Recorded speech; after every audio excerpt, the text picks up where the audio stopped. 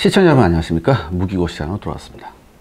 오늘 무기고는 중국 무기 이야기네요. 네 정말 오래간만에 무기고죠. 그냥 그동안 그냥 이슈 점검만 드렸다 했는데 아, 그동안 우리 샤르의 군사연구소에서 은근히 중국 무기를 많이 알아봤습니다. 현재 중국 무기는 전차와 장갑차에서부터 5세대 전투기와 항공모함에 이르기까지 나름 충실하게 구색은 갖추고 있습니다. 하지만 중국제 무기에 항상 따라다니는 꼬리표 과연 진짜 스펙대로 제 성능이 나올까? 이런 문제가 있죠 중국이 스텔스 전투기건 항공모함이건 뭘 만들 때마다 이런 의문이 드는 것은 어쩔 수 없는 사실입니다. 그래서요, 샤레 군사연구소에서는요, 특별 연속 기획으로 한국의 국방기술력과 충돌하게 될 중국의 국방기술력을 여러 장비와 사례들을 통해 객관적으로 분석해보는 시간을 가져보고자 합니다.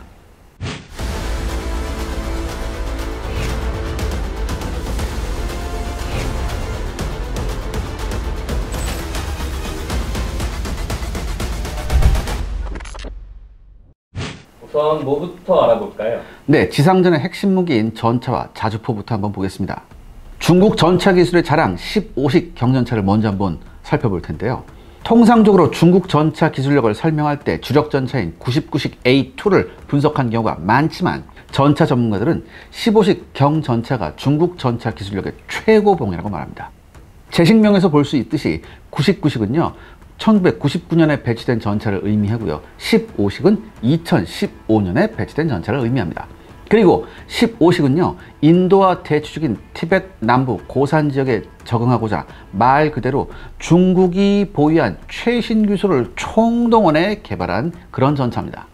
중국은 1962년부터 인도와 남 티벳, 그러니까 인도에서는 여기 이제 라다크 지방이라고 그러는데 이 지역에서 대규모 전투를 동반한 국경 분쟁을 겪고 있죠. 이후에도 1967년, 2017년 그리고 2020년에도 격렬히 충돌한 바 있습니다. 1962년에 시작된 인도 중국 국경 분쟁은요 말이 분쟁이지 전투 과정에서 8천명 이상의 군인이 사망, 부상 혹은 실종될 정도로 격렬했습니다. 당시 중국군은 6.25 전쟁을 경험한 군대를 가지고 있었기 때문에 전쟁을 경험하지 못한 인도군을 손쉽게 몰아내며 악사의 친 지역을 점령하는 데 성공하죠. 기습을 당한 인도군은요 신속히 전력을 이동시키려 했지만 교전이 진행되고 있는 라다크 지역은요 도로망이 엉망이에요. 그렇기 때문에 병력과 장비 수송이 아주 곤란했었죠. 그런데 이 절체절명의 위기의 순간 인도군은 찬디가르의 공군기지에 있는 소련제 AN-12 수송기를 활용해 AMX-13 경전차를 공수한다는 결정을 내립니다. 이 AMX-13 경전차는요 무게가 14.8톤밖에 안 돼요 이렇게 해서 전장에 어렵게 도착한 AMX-13 경전차 6대는요 지속적으로 고장에 시달렸지만 그럼에도 불구하고 포탑은 움직일 수가 있어서 중국군을 상대로 75mm 고폭탄을 날릴 수 있었습니다. 당시 소화기만으로 무장하고 있었던 중국군은요 갑자기 나타난 경전차에 패닉에 빠집니다. 그리고 인도군 경전차의 압도적인 화력으로 인해 막대한 피해를 입죠. 당시 중국 정부는 전투원 720명이 사망하고 1697명이 부상당했다고 발표했지만 서방 전문가들은 이보다 훨씬 인명피해가 컸을 것이라고 추측하고 있습니다. 그러니까 쉽게 말해서 곱하기 한 3 정도 하면 된대요. 사망자나 부상자나. 아무튼 1962년 국경 분쟁에 종식된 이후 많은 인도군 참전자들은 중국군의 라다크 점령을 막은 최대의 공로자로 AMX-13 화력 지원이 아주 유효했다고 증언했습니다. 그래서 중국군도 경전차를 개발하기로 하나요? 네, 중국군은 인도와의 1960년 국경 분쟁에서 외견적으로 승리했지만 갑자기 나타난 AMX-13 경전차로 인해 전략적 목적 달성에 실패함은 물론 막대한 인명피해를 입었죠. 중국 군부는 당연히 고산 지역에서 활용할 수 있는 전차를 요구했습니다. 하지만 당신은 어떠한 국가도 고산 지역에서 제대로 작전할 수 있는 전차를 개발할 수 없었어요. 이게 일단 고산까지 가려면 지형이 엄청 험하잖아요. 이거를 충분히 극복하거나 혹은 고산재는 공기가 희박하니까 이 공기가 희박한 상황에서 원활히 돌아갈 수 있는 엔진을 개발하기가 힘들었었습니다. 하지만 중국은 오랜 투자를 통해 전차 개발 기술을 지속적으로 향상시켰고 중국 군부는 인도군이 수송기를 활용해 경전차를 수송했던 사례를 잊지 않았습니다. 그래서 2000년대 이후가 되자 중국군은 러시아제 일류신 76과 자국산 Y20 수송기를 통해 운반할 수 있는 최신 경전차를 다시 요구했어요. 그리고 이 요구를 충족하기 위해서는요 35에서 36톤의 중량 제한을 지키면서도 극단적인 지역에서 대응할 수 있는 기동성과 현대적인 전차전 수행 능력을 갖춰야만 했습니다 곧바로 중국의 제617 연구소와 제201 연구소가 경쟁을 시작했고요. 여기서 제617 연구소의 안이 15식 경영 전차라는 명칭으로 채택이 됩니다. 중국군에 공식 채택된 이 15식 경전차는요, 전차포를 포함한 전장이 9.2m, 전폭이 3.3m, 전고 2.5m로 전투 중량은 장갑 옵션에 따라 33에서 36톤급 수준입니다. 99식 주력 전차와 비교하면 차체는 1m 이상 짧아졌지만 차폭과 높이는 유사하고 전체적으로 59식 전차, 그러니까 59식이 뭐냐면 이제 T54, T55의 중국형 전차예요. 중국제 라이센스라는 거. 이 59식 전차와 유사한 크기를 가지고 있습니다. 그러니까 여기까지 보면 특별한 것이 없지만 15식 전차는요 포장 상태가 형편없는 외곽 국경지대에서 운영되어야 했기 때문에 최저 지상고 그러니까 지면에서 전차 바닥까지의 높이를 40cm 이상으로 유지해야만 했습니다.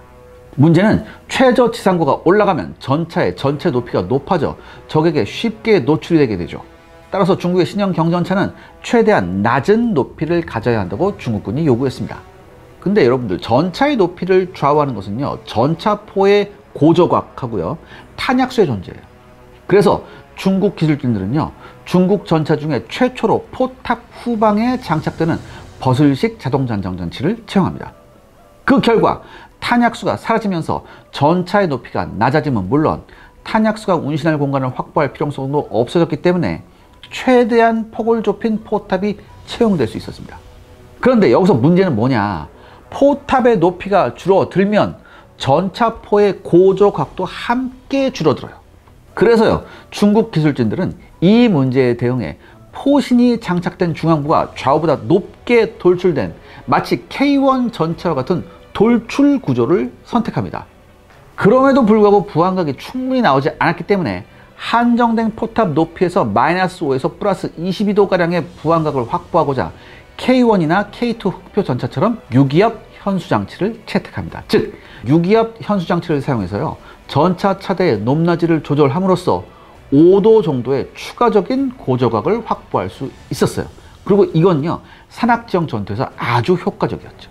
중국이 한국을 따라했다고 말할 수는 없지만 한국의 K1과 K2 흑표전차의 기술 개념이 15식 경전차 개발에 많은 영감을 주었을지도 모릅니다. 더욱 놀라운 것은 15식 경전차가 105mm 전차포를 선택했다는 것이죠. 105mm 포가 왜 놀라운 선택인가요? 네, 1969년에 있었던 중소 국경 문쟁 이후 소련은요, 당연히 중국에 대한 무기와 기술 공급을 차단합니다. 이때 접근한 것이 바로 미국을 주축으로 하는 서방 진영이었죠. 미국은 냉전에서 승리하고자 소련 포위 전략으로 1978년에 중국과 수교하게 됩니다. 미국과 유럽 방산 기업들은 이 기회를 적극적으로 활용해서 중국의 무기 및 기술을 수출하기 시작했죠. 그 결과 중국은 59식 2형 전차부터 51구경장 105mm 강선포 그러니까 우리 국군이 쓰는 우리 육군이 쓰는 K1 전차포에도 사용 중인 영국제 L7 계열의 105mm 전차포를 사용하기 시작합니다. 이 15식 경전차도 예외는 아니어서요. L7 계열 전차포를 채택한 우리 육군의 K1 전차는 물론 제가 나중에 설명드릴 인도의 자라와르 경전차와도 탄약이 호환될 정도예요. 중국제인데. 중국은 연구를 통해서 정식으로 L7 105mm 전차포 기술을 도입함은 물론 1980년대에 세계 최고의 APF SDS 기술을 가진 이스라엘을 통해 APF SSD 탄 기술을 도입합니다. 중국은 이 당시에 도입한 서방 기술을 활용해서요 독자적으로 러시아 규격의 125mm 전차포와 APF SDS 탄을 개발했죠. 15식 경전차는 중국의 노린코사에서 자체 개발한 BTA-2형 105mm APF SDS탄을 사용합니다. 이 관통력은요 2000m 거리에서 66.2도 경사각의 균질 아변 강판 220mm 이상을 성공적으로 관통할 수 있다고 합니다. 이건요 장갑을 강화한 개량형 T54나 55전차 등을 여유롭게 격파할 수 있는 성능이에요. 시청자 여러분들의 구독과 좋아요는 영상 제작에 정말 큰 도움이 됩니다. 여러분들 부탁드리겠습니다. 구독과 좋아요. 그러면 15식 경전차의 개발이 순조로웠다는 건가요? 그렇지는 않습니다. 아, 15식 경전차의 자랑은요, 고산 지역에 대응한 동력 시스템이라고 이제 중국은 말하고 있는데, 중국은 1978년부터 향후 99식 전차가 될 차세대 전차 연구를 시작하면서 서방의 최신 전차와 경쟁할 수 있는 고출력 엔진 개발 사업도 함께 착수했습니다. 중국은 6.25 전쟁에 참가한 대가로 소련으로부터 T-34 전차 면허 생산과 함께 V2 디젤 엔진 기술도 받아올 수 있었는데요. 여기서 이 V2 엔진 계열은요.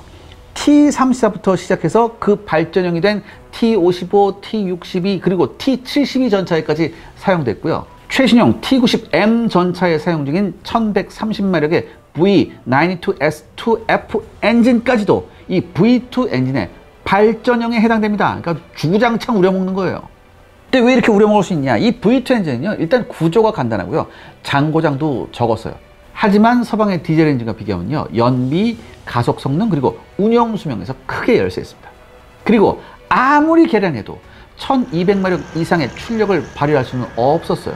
그래서 러시아도 신형전차, 최신형 전차 T-14 아르마타부터는요, 완전히 새롭게 개발한 1500마력급 CHTZ-12H360 디젤 엔진을 탑재하게 됩니다. 중국 역시 V2 엔진을 탈피하고자 노력했어요. 그리고 그 과정에서 영국 챌린저 전차에 장착된 퍼킨스사제 CV12-1200 TCA 1200마력 엔진을 도입하기도 했습니다. 그런데 여러분 아시다시피 엔진은 영국제는 아니야. 아시죠? 그쵸? 그러니까 영국제 엔진은요, 지금도 그렇지만 당시에도요, 서방 최고의 기술이 아니에요, 영국제 엔진은. 2차 대전 때 뭐 비행기 엔진은 그렇다 치더라도 롤스로이스 엔진 같은 건. 그래서 중국은요, 독일 레오파드 2 전차에 사용된 MTU MB873 엔진의 민수 버전인 MB396 엔진을 1980년대 초반에 확보할 수 있었습니다. 이 MB396 엔진은요, 이 1500마력 MB873KA500 엔진의 실린더 숫자를 8기통으로 줄여서요, 900마력으로 만든 모델이에요. 그런데 기본 구조는 동일하지만 군용 규격의 고품질 부품 대신에 중급 부품을 사용해서요, 가격을 낮춘 모델이었습니다. 중국은요, 디젤 기관차 등에 사용한다는 명목으로 200대를 완제품으로 그리고 300대를 면허 생산해서요, MB396 엔진의 설계도와 기술 자료를 확보했습니다. 근데 중국은요, 이 MB396 엔진의 우수성에 감탄하고요. 그리고 감탄하면 뭐 하겠어요, 얘네들이? 당연하죠. 이거를 무단 복제, dead copy 하기 시작합니다. 제 버릇은 못 주는 거죠. 아무튼 그 결과물이 바로 8V165 엔진이에요.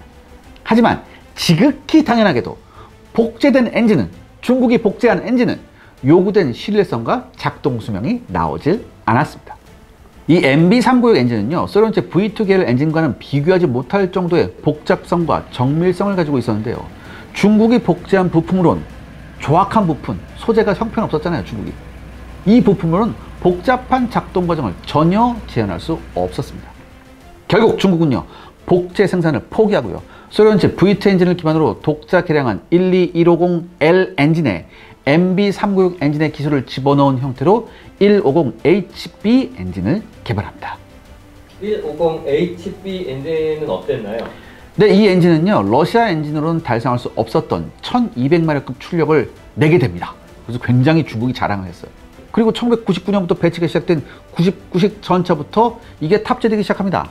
이어서 2010년대 이후에 배치된 99식 A2 전차부터는요, 출력이 1500마력으로 향상된 150HB2 엔진이 장착되었죠. 정확한 정보는 공개되지 않았지만 서방 전문가들은요, 150HP 엔진의 개발에만 대략 15년 이상, 그리고 출력을 보다 향상시킨 150HP2 엔진의 개발에만 약 10년을 중국이 투자했을 것이라고 어, 추측하고 있습니다. 아무튼 중국은 이렇게 어렵게 개발한 150HP 엔진을요, 99식 전차 외에도 05식 자주포, 그 다음에 08식 보병 전투차, 그리고 05식 양서 보병 전차 외에 15식 경전차에 이르기까지 거의 모든 최신 전투 차량에 탑재하고 있습니다. 중국의 폐쇄성으로 인해 150HP 엔진의 성능과 신뢰성에 대한 자세한 데이터는 공개되지 않고 있지만 여러 간접 정보를 보면요. 이 엔진이 아직도 여러 가지 잔 고장과 누유 그리고 수명 저하 등이 심각한 것으로 알려지고 있습니다. 이를 반영하듯 중국과 파키스탄이 공동 개발해 2001년부터 배치를 시작한 알칼리드라는 전차가 있어요. 이게 MBT 2000인데 이 알칼리드 전차에는요 중국제 150HB 엔진 대신에 우크라이나제 1200마력급 6TD2 엔진이 탑재되어 있습니다. 그리고 중국제 150HB 엔진이 외부로 노출된 것은요 2017년에 태국에 수출된 MBT 3000 이게 수출용은 VT4인데 이 전차를 통해서였어요. 태국군은요 1200마력급 150hp 엔진과 VT4 전차에 대해 대체적으로 만족한다고 얘기했는데 진짜 그럴까요? 이건 제가 나중에 말씀드리겠습니다. 아무튼 15식 경전차는요 여기에 그치지 않고 한 번 더 엔진을 개조하게 됩니다. 15식 경전차는요 어, 더욱 발전된 8V150HB 엔진을 사용하고 있고요. 어, 이 엔진은요 산소가 희박한 고산 지역 운용에 발맞춰서 강력한 터빈 장치를 추가한 엔진이라고 합니다. 이 터빈 장치는요 평상시에는 사용하지 않지만 고산 지역이나 급가속 및 험지 탈출을 위해 큰 출력을 필요하는 상황에서는요 선택적으로 작동해서 추가적인 공기와 연료를 공급할 수 있다고 합니다. 근데요 이게 조금만 과열되면 이게 엔진이 붙어버릴 수 있다고 합니다. 그래서 이게 쉽게 사용을 못하는 것 같아요. 하지만 고도 4,000m 이상의 고지에서는 터빈이 희박한 공기를 추가로 압축하는 역할을 수행해 왔다라 15식 경전차는 항상 700마력 이상의 출력을 사용할 수 있다고 합니다. 그래서요 중국 엔진 기술의 최고봉이라고 호칭한 거예요.